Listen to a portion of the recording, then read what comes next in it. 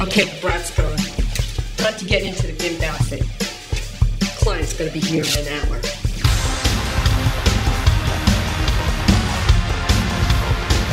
For several years now, I've been trying to genetically engineer a, uh, a hybrid spider, a uh, specimen that uh, uh, contains all the elements of uh, several different species, uh, all in this uh, this hybrid species uh, that I already showed you today has been subjected to several different types of uh, radiation at uh, several different levels, and I'm here to tell you that its powers and abilities have been magnified. Fantastic. So, uh, what happened to this spider? Did somebody what? We ever turn into a superhero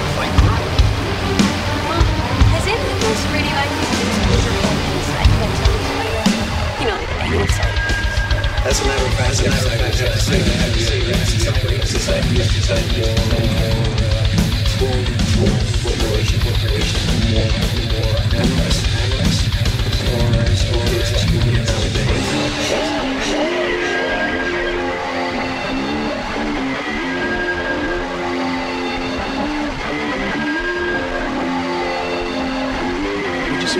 Did you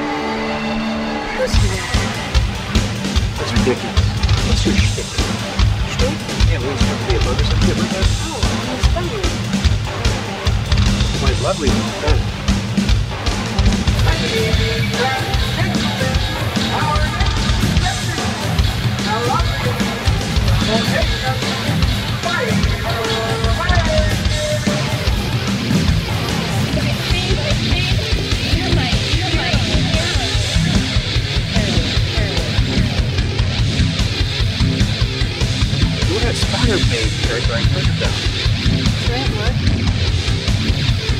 How'd you know my name?